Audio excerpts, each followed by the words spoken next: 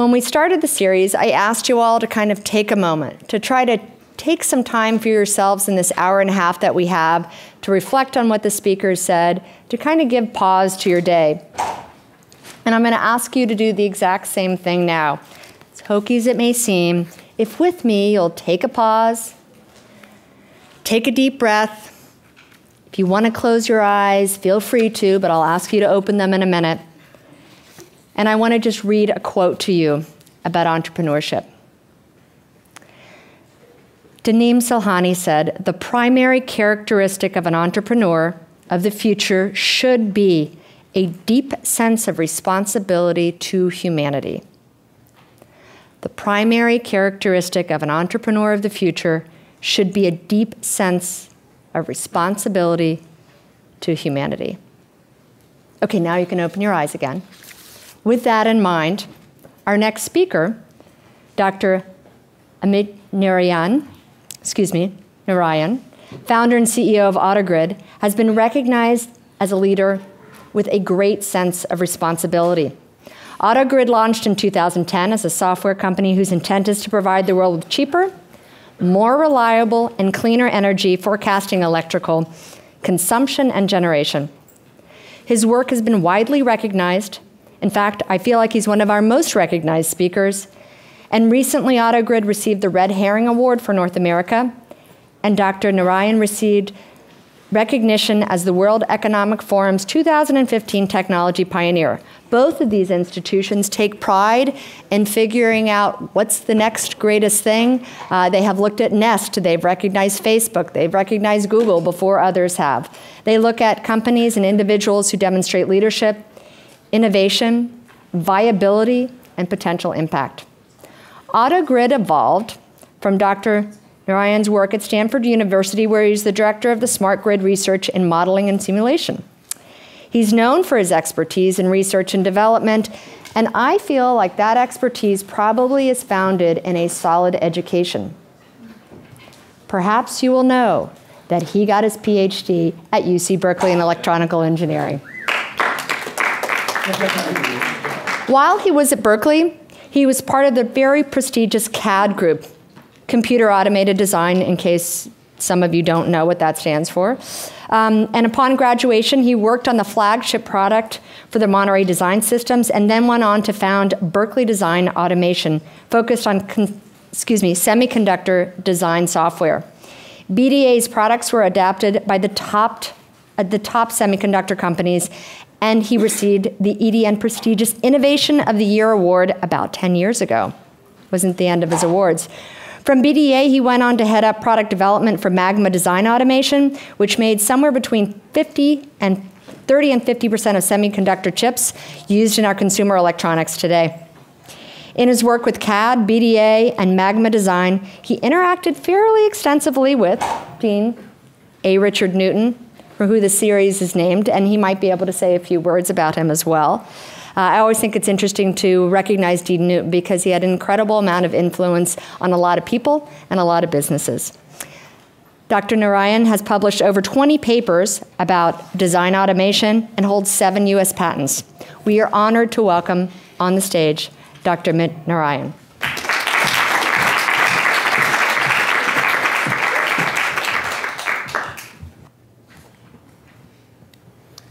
It's an honor to be here uh, giving this lecture, which is uh, instituted in the memory of Professor Richard Newton, whom I had the great uh, good fortune of interacting very closely with, as Vicky mentioned, uh, while I was a graduate student uh, in what was then called the Berkeley CAD group. I think uh, it goes by a different name now.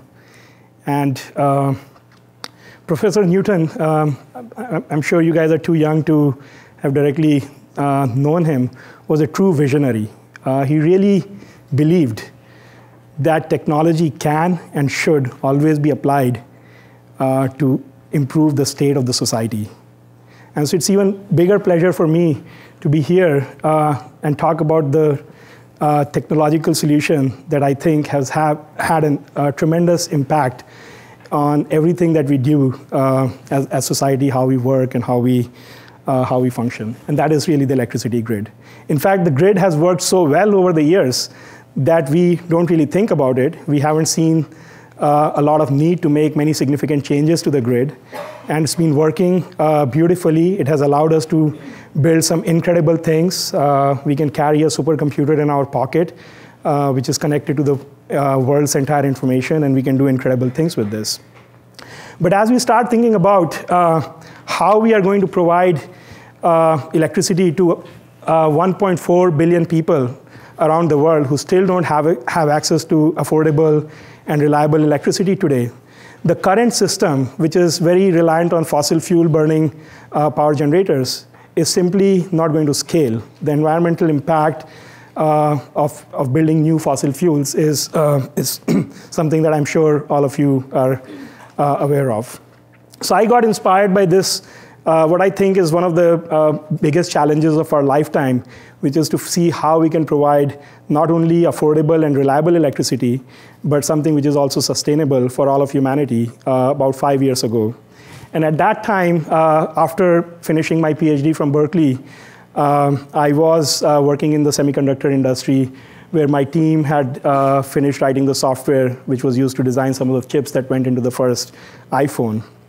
And as I started thinking about what I could potentially do in this area, uh, I think uh, a quote from Professor Newton, uh, which he used to often say, uh, came to my mind. He said that if you are working on a problem and you are not able to find a solution, or the solution is too hard, then perhaps you should just change the problem and think of a problem that you know an answer of or a solution of, and then maybe you will be able to solve the problem that you're working on.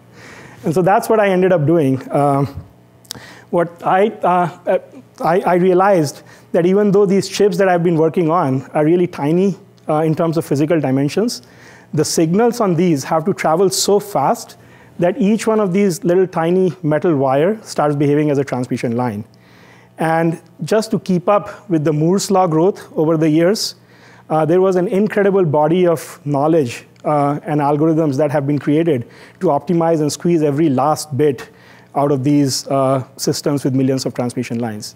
And so I thought that uh, because the laws of physics generally don't change, we could use some of the same algorithms and same math to see how to make the grid run more efficiently. And that's what uh, uh, I started working on. But as I started looking at this incredibly complex system, which is the electricity grid, um, there was one more problem that became very, uh, uh very critical. And that was that the behavior of the grid, unlike the semiconductor chip, depends on behavior of you and me who derive electricity from the grid. And so uh, as you, I mean, uh, as you change your behavior, the grid has to somehow adapt to those changes. So for example, if you uh, turn a light switch on, somehow the grid has to sense that and uh, some generator somewhere far off has to respond in real time to keep up with this uh, variability. And so understanding of this human behavior was very fundamental in, uh, in making the grid run more efficiently and understanding its behavior. And that's where I realized that perhaps we can use some of the techniques that we have developed uh, in other domains like the internet, uh, where not only can we understand the human behavior, but we can influence that behavior through personalized recommendations and machine learning and uh, uh, targeted suggestions to influence the human behavior. And by doing that, we can uh, run the system more efficiently. So everything uh, came together. Uh, we were able to use the same technologies that the grid helped us invent, namely powerful computers, machine learning, big data algorithms, uh, connected computers back onto the grid. And now we have made uh, uh, this grid uh, into what we call as a smart grid, where data starts becoming a new source of power. So uh, before I get into, uh, into the details of, of what the smart grid is, I think that it would be good to also see what's happening in the industry today. Uh, there are some very fundamental changes which are happening in, the, in, in how we consume electricity and how that electricity is supplied to us. So here is a chart that uh, I've taken from uh, uh, one of the presentations at the World Economic Forum, which shows how the market capitalization for the top 10 electricity companies in Europe has changed over the last six to seven years. And these top 10 companies collectively have lost about half a trillion dollars, that's a T, uh, in market cap uh, in the last six years. Some of the largest companies, uh, a company called E.ON uh, that we work closely with, um, has announced fundamental changes into how they're uh, doing their business. So instead of uh, a vertically integrated utility where they own their own nuclear generators and uh, coal-fired power plants and the distribution network, as well as serving the customers. They have split the company into two, where the company which focuses on fossil fuel burning generation and nuclear is now uh, spun off as a separate entity, while the new E.ON is focused on uh, renewables and uh, energy services. And so the utilities are responding to these changes, this, the, this loss in market cap, by fundamentally transforming uh, their businesses. And so uh, it would be uh, interesting to see what's driving uh, some of this behavior. And so there are, uh, in my opinion, there are three fundamental shifts which are happening in the industry, which, which is causing a lot of market cap erosion, also creates a lot of opportunities for new business models. The first is to the business model itself.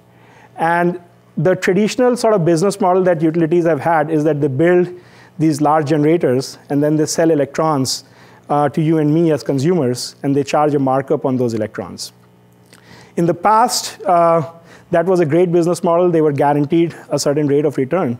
But as you start uh, looking at the supply sources today, uh, there is a tremendous pressure on that business model through these distributed energy resources, where you and I can now buy a solar panel, and with the cost of uh, storage coming down, we can even uh, cut ourselves off of the grid in some cases uh, and just completely be a self-generating entity. Now, what that creates is a, is a downward spiral uh, for the business model because the way traditionally electricity rates work is that uh, the richest or the most profitable customers end up paying not just a higher overall price for electricity, but also the marginal uh, price for electricity, which means that every unit of electricity that you consume becomes more expensive if you consume more units of electricity. Which also in turn means that if you are the most profitable customers for the utilities, uh, you are the most incentivized uh, to put solar on your rooftop and get off the grid or reduce your consumption at least. Which then in turn means that the rates for everybody else who are being served by that utility goes up, uh, creating a new slice of customers who are now uh, better off by putting solar on their uh, rooftop. And that creates a downward spiral. Some people have started calling it the utility death spiral uh, in, in response to this. And as the prices start coming down, it puts even bigger pressure on the, on the utilities.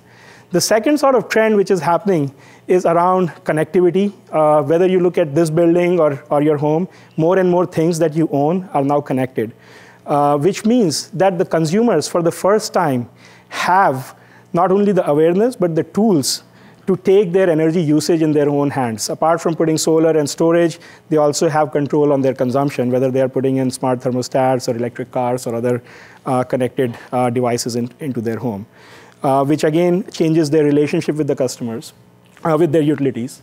And then the third trend, which uh, sitting in California is not always apparent, is around deregulation. Markets worldwide are uh, getting deregulated when it comes to retail electricity. Here, you and I have to purchase our electricity from PG&E. But if you go to Texas, for example, and 20 other states in North America, you can buy your electricity from uh, any one of hundreds of competing retail electricity providers. Worldwide, about 700 million customers are on these so-called deregulated uh, electricity rates. All of Europe is fully deregulated. Uh, you can choose your provider. Uh, Japan is getting deregulated in 2016, and uh, China has a policy of, of deregulation.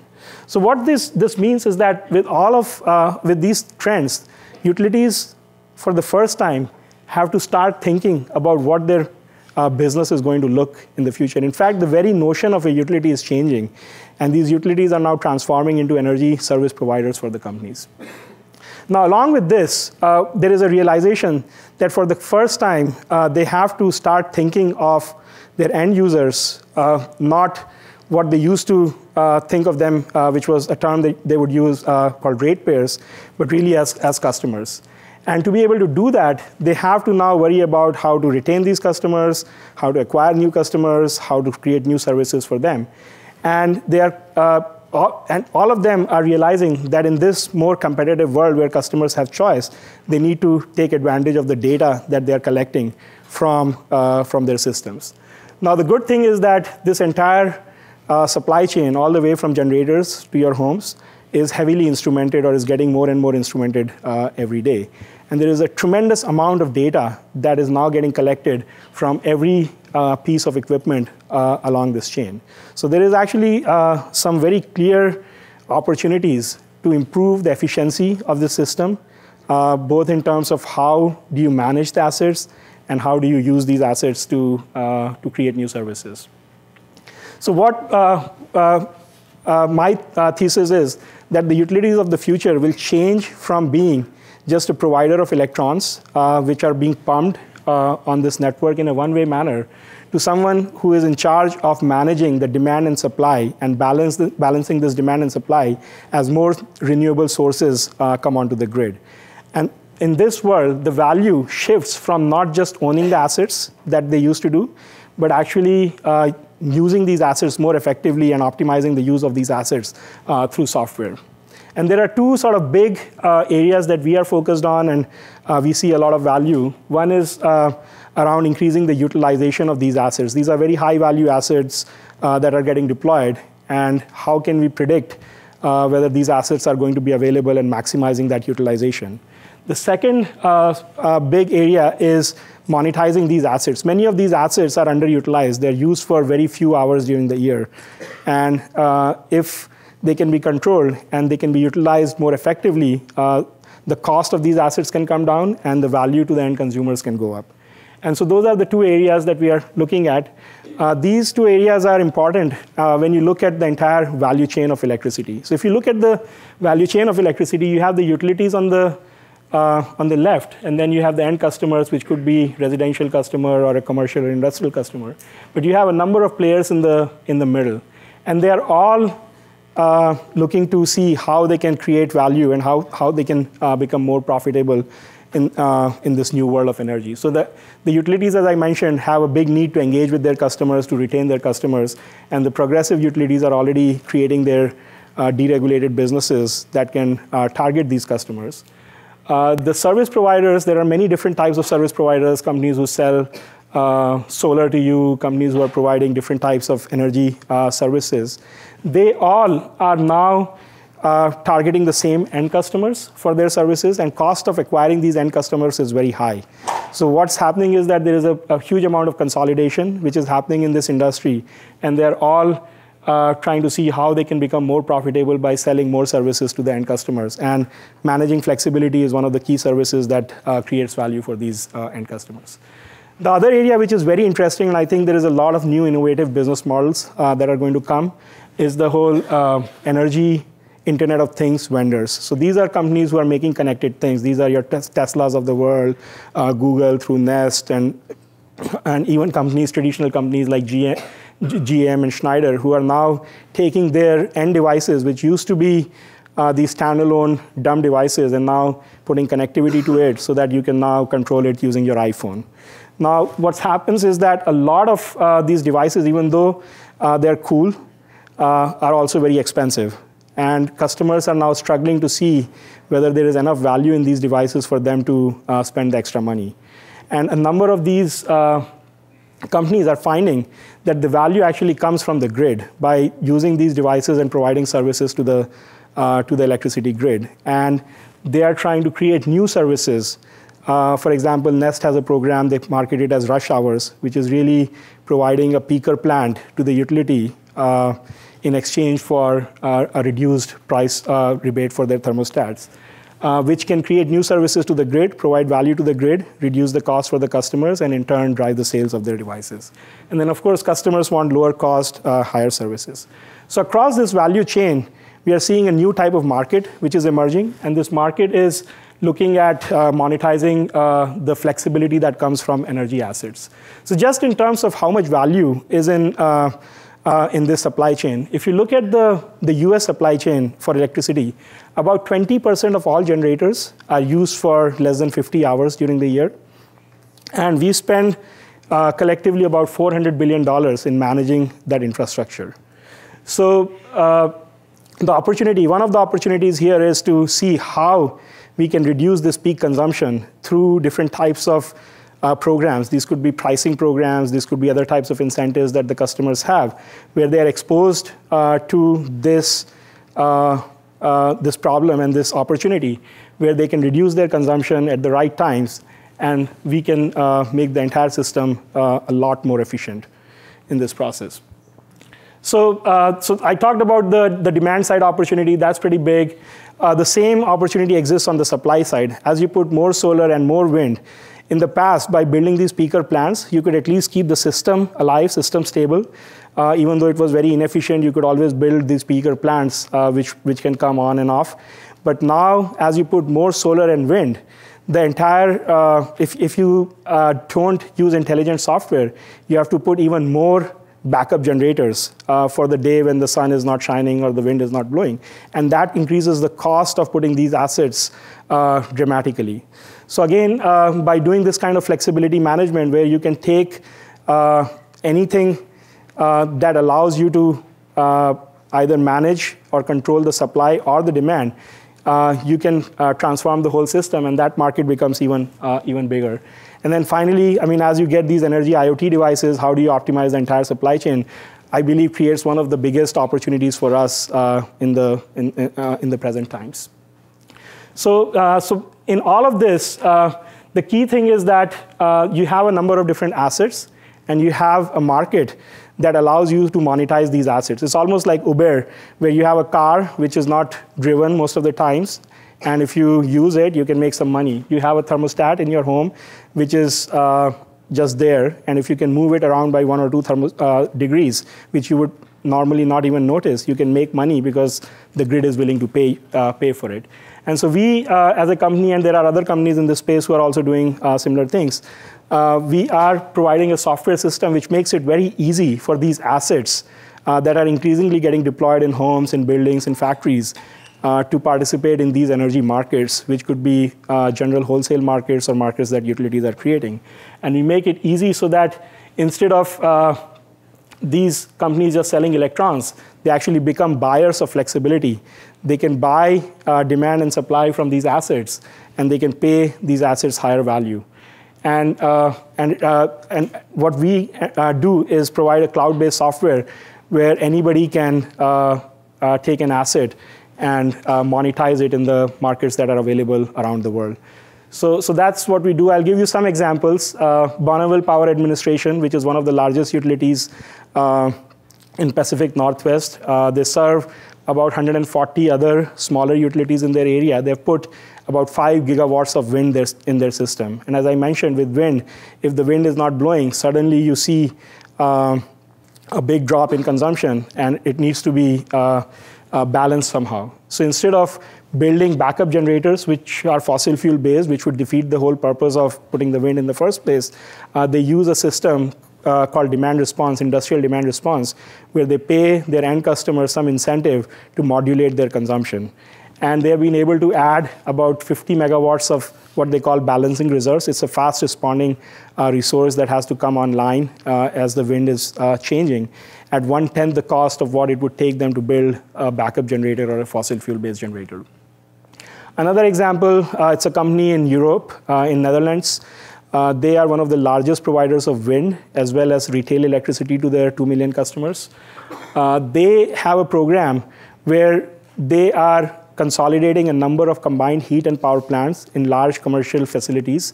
These are plants which are normally used to produce heat, but they also have some flexibility where if they can, uh, uh where they can change the output uh, and produce electricity and, and modulate how much electricity is produced. So they're able to take this untapped, underutilized resource and aggregate it over hundreds of their customers and create a reserve which can then be traded into the wholesale electricity markets uh, and, and can create uh, tens of millions of value uh, for themselves and for their uh, end customers while providing a resource which is 100% clean. So this is very interesting because this is a use case which is not driven by any regulatory need. This is not driven by any grid sort of uh, need. This is a use case uh, where the customer, in this case Eneco, is a trader and they are just maximizing their profit. And uh, I think that's, a, that's an important point because in, in a lot of these uh, new areas where you're trying to create uh, value for the society. It's sometimes not clear who is going to pay for this. And once you can motivate the traders who are profit driven to actually find the value, then you can scale some of these technologies very, very quickly. And, uh, and they can get deployed uh, much faster than if it, it was only uh, reliant on, on some rebates. Another example, which is also very, uh, very interesting, this is a large telecom company. Uh, they operate many different exchanges where they have a need for providing uh, backup uh, power in case the electricity is not available. So they have these exchanges where they're putting backup solar, uh, I mean solar panels, backup storage, uh, some other backup generators, where now, because they can aggregate these resources and they can trade them into the markets, they can create about 30 million per year of value that was untapped before uh, before a system like this was available. So again, this is an end customer driven use case. They have to put these resources anyway for their backup needs. Uh, but having access to the markets reduces the cost for them to deploy uh, lithium ion and other type of uh, storage technologies. Finally, I'll talk about a completely uh, different type of use case. Here uh, is an example of a large utility in the East Coast. they have about uh, 4.5 million customers that they serve, uh, so it's almost the size of PG&E. Uh, they have instrumented every single home with these smart meters. They have also instrumented most of their feeders. They have about 3,000 feeders that supply electricity to these 4.5 million customers.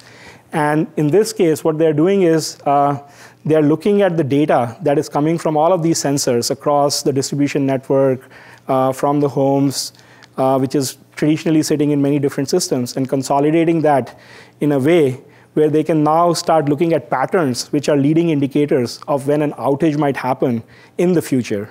And the idea is to be able to find these outages about four hours to a week in advance, uh, which means that it's actionable. They can actually send out a truck to do a visual inspection and then replace the faulty equipment before the customer even notices or experiences an outage. So we, we did this work with them. Uh, uh, over this summer, where just in the first three months of putting the system into production, we were able to save about 600,000 minutes of cumulative outages on their system.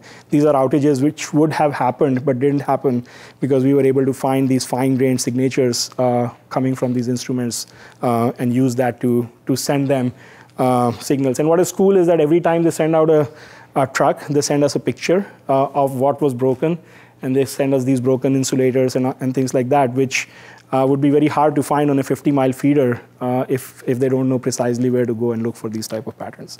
This is again very powerful use of uh, big data technology and data science where you can uh, just sit in a control center and observe these signal patterns and find out what might be happening on your network. So these are some of the, the uh, uh, examples. I have tons of examples, but I want to open it up. Just a quick sort of background on the company. We, we started in 2000. Uh, 11 really, we got incorporated in 2010. We are about 50 people. Uh, we are growing in almost all geographies right now. Uh, one of the great challenges and opportunities for this is that it is a truly global network. It's more global than the internet. And so, no matter which part of the world you go, either you already have an electricity network or people desperately need one. Uh, either way, it actually is a massive opportunity. So we are expanding. We are working with about 20 global energy companies across this value chain. Uh, some of them are listed here. Uh, now, at the core of this, I, I, also want to touch upon what is the core technology. I mean, there is a lot of use cases and business value, but at the core of it is this ability to take data from millions of assets which are now getting connected and uh, analyze this data in real time so that we can optimize this very, very large network at scale. And, uh, and the, the idea of basically taking this data and not just uh, finding signatures, but then uh, controlling is very uh, central to a number of supply chains. Uh, of course, electricity is the ultimate just-in-time supply chain where you have to balance demand and supply. But if you look at any network, whether it's the uh, peer-to-peer uh, ride-sharing network or it's the airlines network, you have started seeing more and more not just the demand being variable, but the supply itself uh, could be very variable. And the opportunity that we have is to see how we can uh, look across the supply chain uh, through the sensors that are getting deployed across the uh, what I call the industrial internet, and then find ways to optimize the supply chain in real time so that we can balance demand and supply more efficiently. And this is what I call convergence of IT and OT, where we are putting these IT technologies around big data and machine learning, but we are using that to uh, then uh, optimize and control the assets in real time, uh, ideally uh, without a human in the loop. And that, I believe, is, is going to become the essence of what we are calling the industrial internet and the fourth, fourth industrial uh, revolution, where we can now, uh, in real time, take very complex networks and optimize. And these networks are self-optimizing. So you can do this optimization in a distributed manner in real time. And the system is always uh, working at maximum efficiency. It's self-reliant, uh, self-healing. Uh, if something breaks down, it can reconfigure itself and, uh, and continue to work. And energy is a great uh, sort of first use case around it because it's, it's, uh, it's, uh, uh, it's not only uh, just in time supply chain, it's also very critical to, to, to, to humanity in general and, and to our progress. So, so making sure that this system works 24 7 in real time. Uh, is of utmost importance in, in industry, uh, in, in, in, energy compared to many other Uh, areas. But I think this is where uh, I see uh, the big opportunity for us, uh, for, for all of you here who are sitting uh, in the lecture, to start thinking about how you can take advantage of this massive volume of data and come up with new business models which will let you squeeze out more efficiency throughout uh, the industrial sort of supply chain. So with that, uh, I'll just leave uh, with this final thought where uh, if you look at the history, I mean, throughout this history, we have always uh, equated energy with the consumption of natural resources, uh, whether it's uh, coal or uh, uh, natural gas. But now, for the first time, software has given us the opportunity to really think of data as a new source of energy. And apart from being cheap and clean, data is different from all other resources in one key way, is the only resource which is still growing. And so uh, I think that uh, this is a fantastic opportunity. I would love to talk to all of you after the talk to see if any of one of you are interested in exploring this more and uh, uh looking forward to that conversation.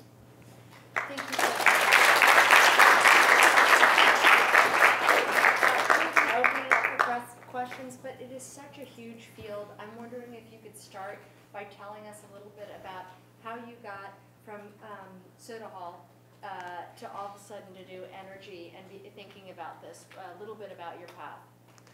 Right. So as I mentioned in my talk, uh, I was in the semiconductor industry, uh, did that for about 15 years, went all the way from when we first started thinking of deep, uh, I mean, submicron was a big deal, and then deep submicron and 40 nanometers, and uh, was on that uh, trajectory for a long time. And after watching that movie uh, repeat itself many times, I was just uh, thinking of doing something else. And around that time, this is about five, six years ago, uh, I ended up watching uh, some uh, sort of movies in this area. Like uh, one of the influential movies that I watched was uh, by Vice President Gore, The Inconvenient Truth. And I watched it with my son, actually. Um, and then as I, he was five years old at that time, and as I was like dropping him to the school the next day, he started crying and he was very moved and he said, Hey, what? Uh, uh, I mean, he was afraid that he won't even have any oxygen to breathe when he grows up. So that's like sort of got me thinking about uh, these big problems. Until that time, actually, I'd never thought I would be in this field. I never, uh, I did some undergraduate courses in India a uh, long time ago dealing with power systems. Uh, never thought I would ever do anything related to power systems. And uh, it all came back to me, actually. It's very surprising how these things that you do, which you have to do sometimes, uh, and you never think that uh, they will ever be useful, uh, turn out to be interesting uh, sort of uh, training that can help you later on in the life.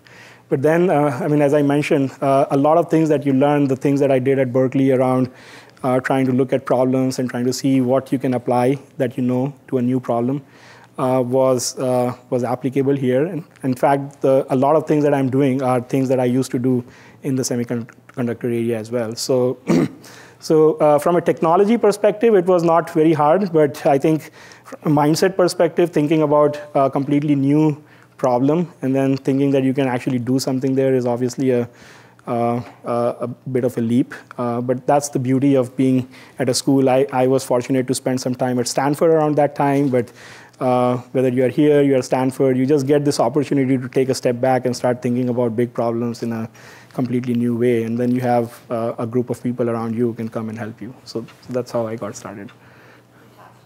take some questions.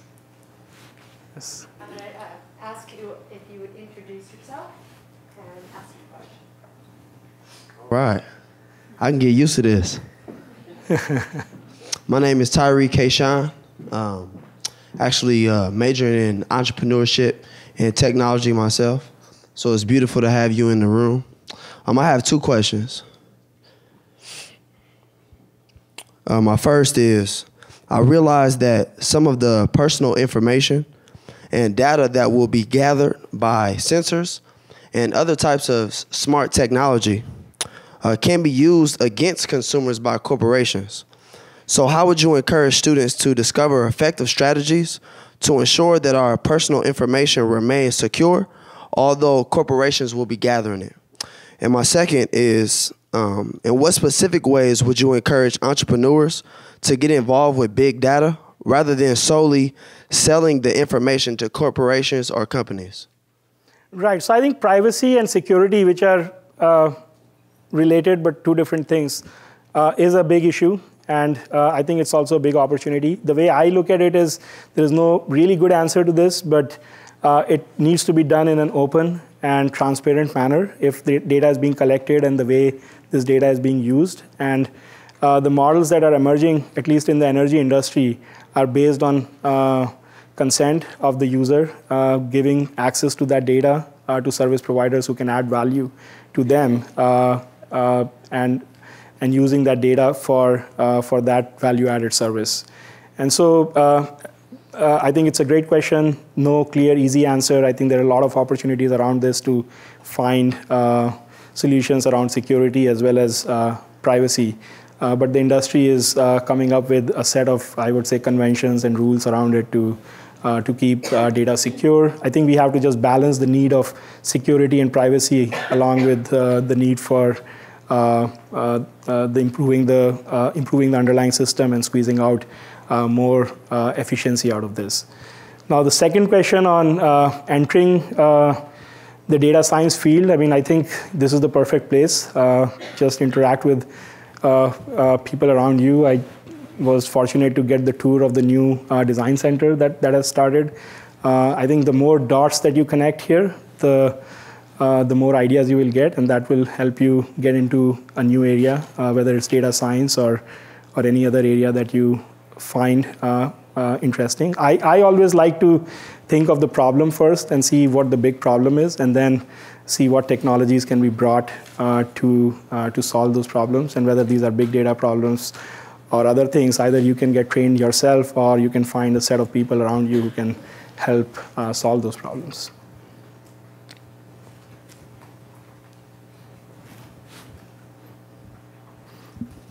Hello, is this on? All right. Hello, uh, I'm Tyler Chen. Um, I'm a material science major, um, and kind of because of that, obviously, I'm not super into the whole software side. But do you see that there are any applications of big data um, outside of the pure software realm? If there are any applications of kind of using big data to create hardware products uh, that maybe I don't know uh, can influence that side as well? Yeah, I mean, I think uh, the whole notion of uh, getting more insights from whatever system you're trying to design uh, is fundamentally a, I mean, a, a, analysis and at some level big data problem. I mean, whether you are doing the conventional uh, Hadoop map reduce type of big data or whether you're doing high performance computing uh, to find out whether your hardware is going to survive in a harsh climate. Uh, there are different mathematical techniques, but it's all around anticipating a very large number of possible uh, scenarios and how your system is going to work and applying those uh, techniques in there. Now, of course, uh, uh you can build physical models and try to analyze some of these things, uh, but now with the capability to process large number of scenarios and large amount of data, you can automate a lot of uh, these technologies and, and, and use that to design better products. So that's, that's what comes to my mind, but I'm sure you guys will figure out even more interesting uses there. And uh, one more. Also, do you think that um, there would be a way to kind of start from the actual data itself and use maybe trends that are visible in that data to narrow down a new hardware product? Do you think that's kind of a possible route that this kind of whole big data realm could take in the future? I mean, I, I don't see why not at some point. I think uh, it's, a, it's an interesting, I would say, idea uh, to explore. I think certainly to the extent that you can uh, infer design features, uh, that's already happening, and, uh, and maybe whether you can completely sort of synthesize something new. I think in biology and other fields, uh, some of these things are beginning to happen actually. So, I mean, I, I don't know whether uh, in the near future you can just assemble a new car based on data or not, but uh, certainly with artificial intelligence and ro- robotics and other things, there are like steps already in that direction where uh, the intelligence is actually uh, in machines is getting to a stage where they can start doing some really interesting uh, things autonomously. So I can see that happening in uh, in 20 years, 10, 15 years, whatever. Maybe the next PhD student is already working on that as we speak.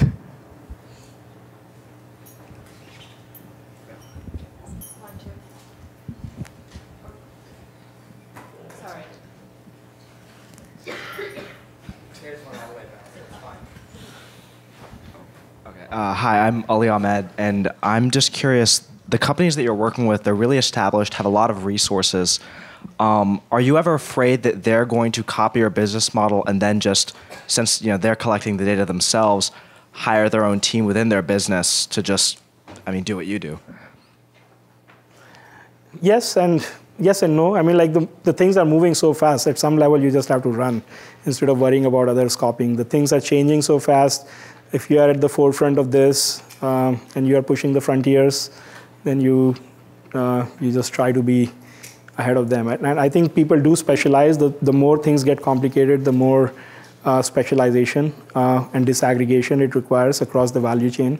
And so for uh, and I've seen that in, in my own career in other industries. For example, in the semiconductor world, today most people don't build their own fabs. They go to TSMC or one of these fabs uh, their IP is more on the design side. Most people don't, uh, most semiconductor companies don't uh, write their own software to design their chips. They buy commercial software.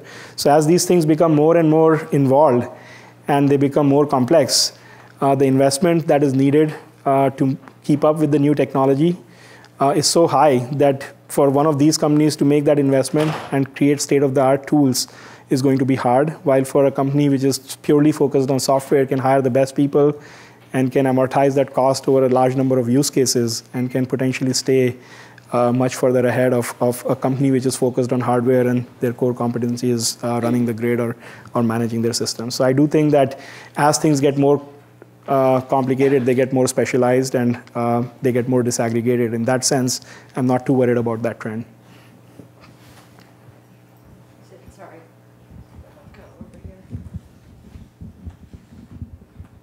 Hi, my name is Ruta. I'm also a computer science major here. I was wondering, you mentioned that Internet of Things is one place where there's a lot of opportunities in smart grid. Could you go a little bit more into depth about uh, what specifically an Internet of Things applies to smart grid and how you're using that? Yes, if you look at the Internet of Things, uh, as I mentioned earlier, a lot of uh, initial products that are coming out are still searching for a business use case. And uh, there are consumer related products like Fitbit and so on. Uh, uh, and that's one interesting area for sure. and I would put things like Nest thermostat or any smart thermostat in that category, connected lighting, which is happening in the uh, in the homes in terms of LED lighting in that category. Electric cars would be in that category. All of these connected things have multiple value streams that they can potentially offer to the end consumer. So uh, one of the value streams could be just convenience, or it could be maybe something related to health uh, or monitoring. But there is a pretty large opportunity, which I uh, talked about around managing uh, the grid and providing services to the grid. And that is a good source of money for the companies who are making these connected devices. And if you look at the industry, I mean, I've seen some surveys where it turns out that uh, the energy industry is seeing the fastest adoption of Internet of Things. Uh, and, and the reason is that the use cases are very well defined, and the amount of money that is available is very significant, which drives uh, the adoption of these devices uh, themselves. And so, monetizing that value chain, whether it is uh, by selling flexibility that I talked about, or by uh, reducing outages or improving the reliability of the system, are some of the opportunities that we are working on. But uh, there are like many such uh, things that can be done in terms of reducing the cost for the end consumer or providing a better quality service. So to clarify, do you mean that um, like the biggest opportunity right now would be to sell optimization? Is that what you mean by flexibility?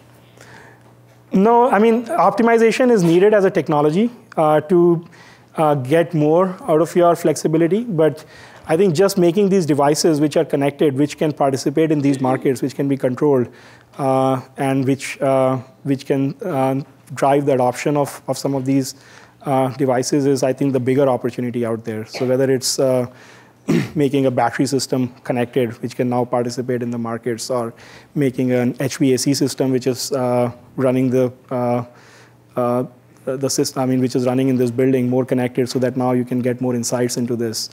Uh, I think those are some of the bigger opportunities because they drive uh, more value and more, more use cases. And software becomes a piece of that equation. Because to get that last uh, sort of uh, layer of value, you have to analyze that data and you have to somehow figure out what to do with that data. I think we have time for maybe two more questions. So get one down here.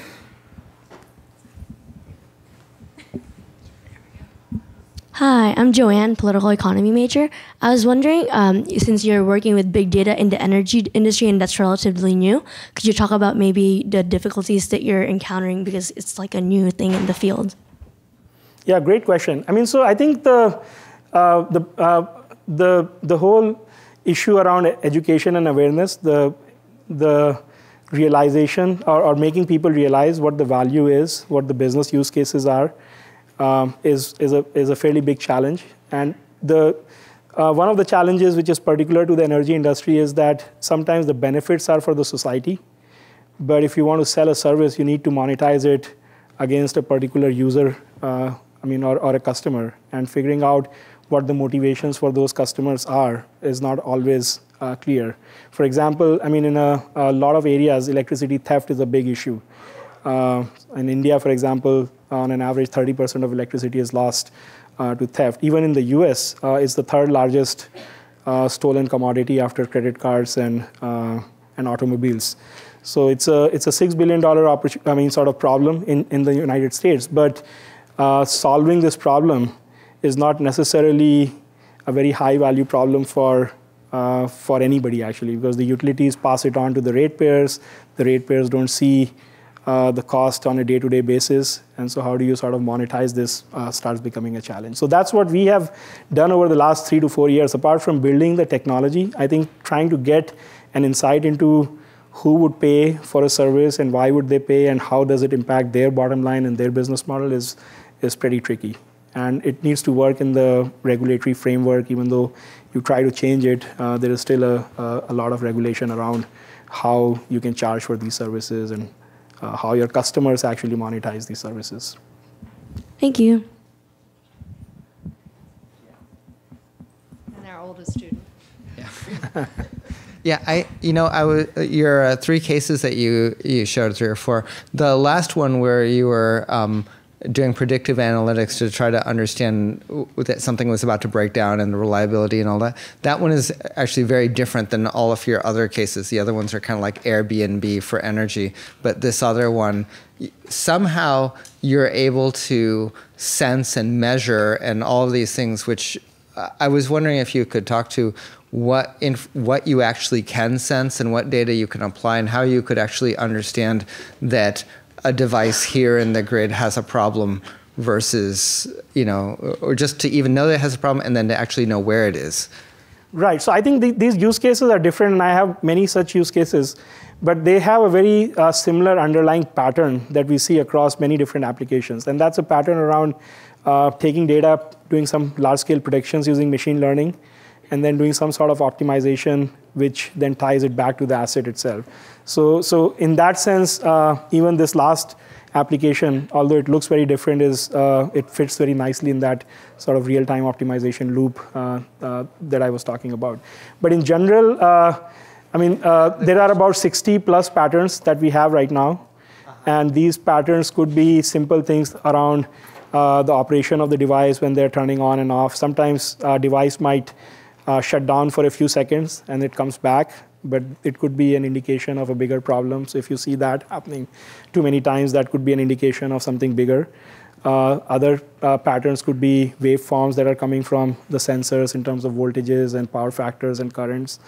Um, you, we also look at harmonics and some uh, frequency domain things. So, so your customers, uh, the the people who you're working with, they they are measuring all these things and somehow they're sending you this information maybe in packet form or whatever so that you can you can analyze it. Right and that's where the other question around where the opportunity on internet of things is. There are uh, dozens or maybe even hundreds of companies who are making these sensors and every company who makes a sensor claims that this is the best thing since sliced bread in terms of this sensor being able to solve uh, uh, uh a big problem around whatever you are trying to sense, basically. But the reality is that uh, the value is in combining data from many such sensors. And the companies who are deploying these sensors are having a hard time figuring out which sensor is really giving me a meaningful pattern that I, I, I can uh, uh, base my predictions on. So part of the value that we are providing is this ability to look at cross many different sensors and figuring out uh, what is the sequence of uh, events that need to happen which leads to an outage. So it may be a pattern in one device followed by another pattern in another device and a sequence of such patterns which is a much higher indication indicator of an outage than any one of these patterns on uh, on its own. And so, so and that's where machine learning comes in because you have literally millions of sensors and you have uh, uh, even more features that you can be analyzing and then putting all of that in a big system where you can uh, learn and figure out what the patterns are that really matter is important. So doing high dimensional machine learning and then uh, being able to evaluate these models in real time as the data is streaming in is where uh, technology helps. Uh, I want to thank you again for spending your time and energy with us this afternoon. Uh, and also wanted to say, I think you're going to be here for a little while if students want to come up and, and ask questions. And I hope that you'll come back to Berkeley again very soon. So thank Absolutely. you. Thank you.